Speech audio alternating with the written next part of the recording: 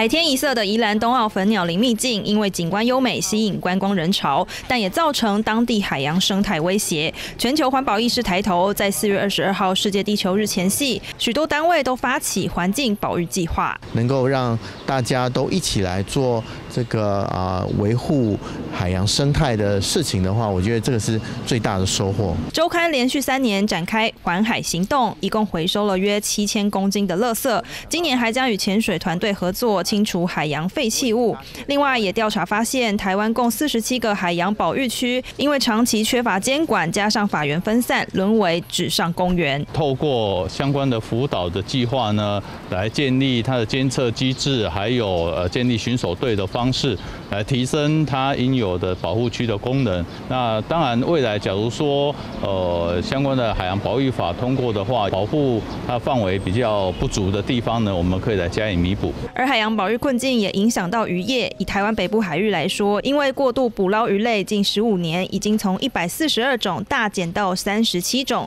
相当于七成鱼种消失。而沿海与近海的渔获量也下跌超过百分之五十。